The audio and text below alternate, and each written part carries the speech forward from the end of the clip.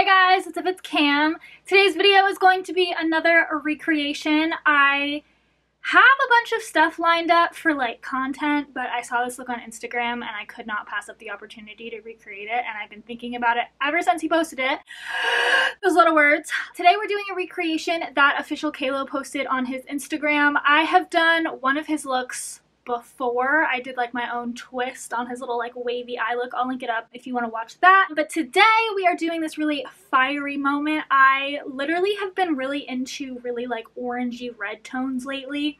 And I haven't been able to get a chance to wear them or like really do makeup at all. There's a lot going on right now. But I saw this look and I was like, this is my opportunity. I have to sit down and do it. I I gotta do it. So today is the day. But it is just the most beautiful, like fiery moment and I just got really excited when I saw it. So that is look we're gonna do today. So if you wanna get real fiery with me, then just keep watching. All right, we're gonna start with my Wonder Wax from Pink Honey. I'm gonna go ahead and just push all my brow hairs up. I don't know where I am. I don't know why I'm not centered, but that's just what we're gonna do. And then I'm gonna go ahead and take a makeup wipe and just wipe around my brows so we don't have any like brow wax residue hanging out. I'm also gonna go in with my Wonder Whip pencil just to kind of add some structure and shape to my brows. My brows were a hot mess. We're not gonna talk about it, but that's fine. Now I'm going to go in with my Juvia's Place eye base. I'm going to go ahead and carve out the bottom of my brow and I'm also going to fill in my lids. We have a nice canvas for the shadows we're going to use later.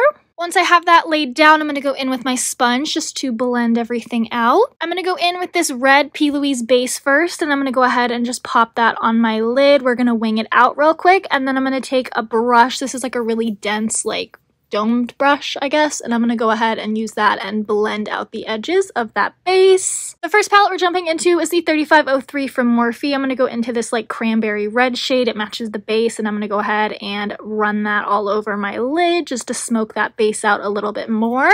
Then I'm going to go into the Carnival XL Pro. I'm going to take the shade Lit and I'm going to pop that right on top of that red. We're going to do a little bit of an ombre like sunset moment in the crease today. Now I'm going to go into the Carnival Love Tahiti and I'm going to take the shade Mango. I'm going to run that right on top of that darker orange just to kind of brighten it up a little bit so that we can go into the shade Yellowed from that same palette and blend that right on top. This is our final blend shade for the look. So now I'm going to go back through. We're going to go back in with that mango shade and re-intensify, back in with lit, re-intensify, take that red once again and run that through. I'm going to take a black shadow now and run that in my crease. We're not going to go all the way in my crease. We're going to keep this on the outer third and then kind of drag it into my crease just a little bit to add a little bit of definition. But yeah, if you know me, you know that I love using black eyeshadow and I pretty much use it in every single look. I'm going to cut the crease now. I'm going to go in with a micellar water soaked q-tip and I'm going to go ahead and do a half cut crease moment. So we're just going to cut out like the first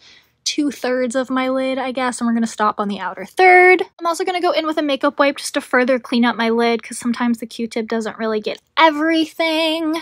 Now I'm going to go in with Blank Canvas from P. Louise and I'm going to use that as my cut crease base. So I'm just going to pop that all over my lid where we carved out that shadow.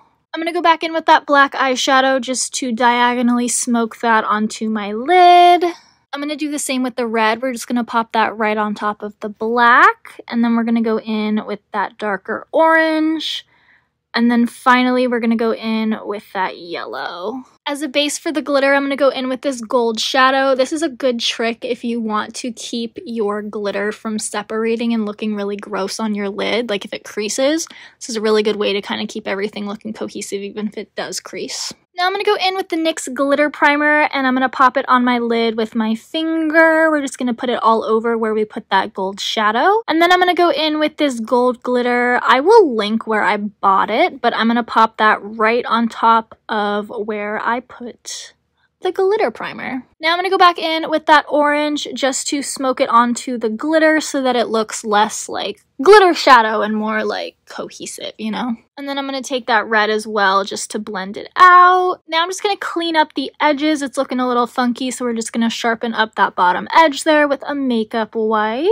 For my lower lash line, I'm going to go in with the black paint from P. Louise and I'm going to smoke that on my lash line first. And then I'm going to go in with the shade Lit from the XL Pro palette and smoke that right underneath that black shadow. And then we're going to go in with Yellowed to finish off the lower lash line. For mascara, we're going to go in with the Pillow Talk Lash Lift Mascara. I think that's what it's called from Charlotte Tilbury. This is one of my favorite mascaras right now. I love the wand. It's like my favorite thing in the entire world. While I wait for my lashes to dry, I'm going to pop a little highlighter on my inner corner and also on my brow bone. And then finally for lashes, we're going in with the Lilly Lashes in the style Mykonos. That is it for this video. I hope you guys liked it. I went a little bit more, I guess, vampy with this, with the darker lip. But I was feeling a really dark, like, black smoky lip today, so we just, we went with it. It's okay. Is this exactly like his? No. But will I ever recreate something that looks exactly like the thing that I'm trying to recreate? No. So it's okay. Everything's fine.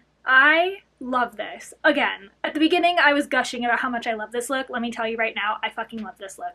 It is so fun, it's so fiery, it's so like summery, like night out, but like also you could go to the grocery store to go buy some corn or some shit. I don't know what you buy at the grocery store, but like if I was going to the grocery store with this on my face, I'd probably be going to buy corn or lettuce for cilantro because he eats a shit ton of lettuce like all day every day but whatever.